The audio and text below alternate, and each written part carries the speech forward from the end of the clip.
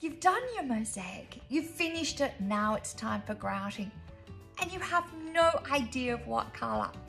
I'm going to talk about grout and colour today. Stay tuned to find out more.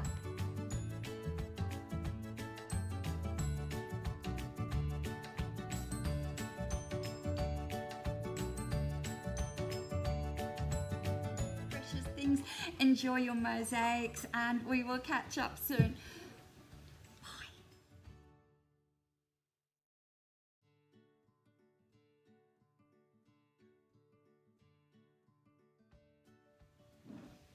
We're now going to colour this, so I'm going to use what I call tints oil. Tints all are a, um, a paint that they use for car duco. The thing I love about tints all is they are very strong pigment inks. They are pure colour mixed with water so they're easily soluble in water and easy to brush on. The nice thing about them is the colour stays. It is permanent. They will they might fade a little bit in the sun. Most paints will fade in the sun but they are a strong pigment and they'll be there for quite a while. This is not going outside so it's not really going to be an issue. The colours that I'm going to use are lilac and today. So we'll start off with a green in the middle going to lilac on the outside, just because I can. I've got a little plastic palette and I'm just going to put, squeeze some green onto there.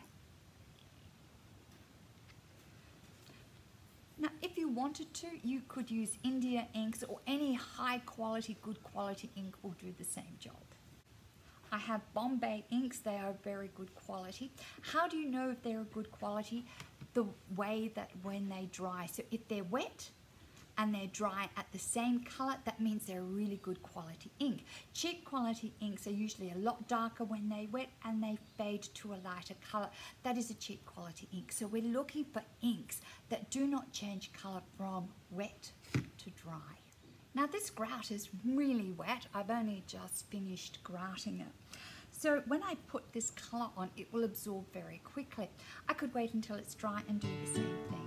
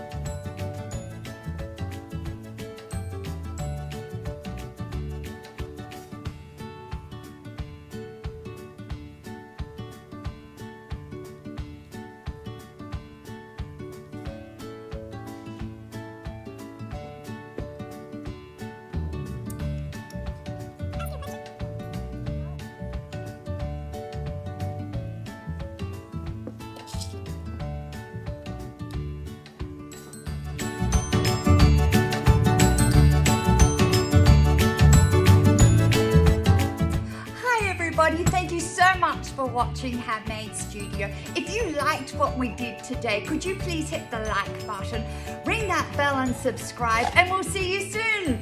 Bye from Cheryl Hann-Woodlock and Alfred from Hann-Made Studio. Bye.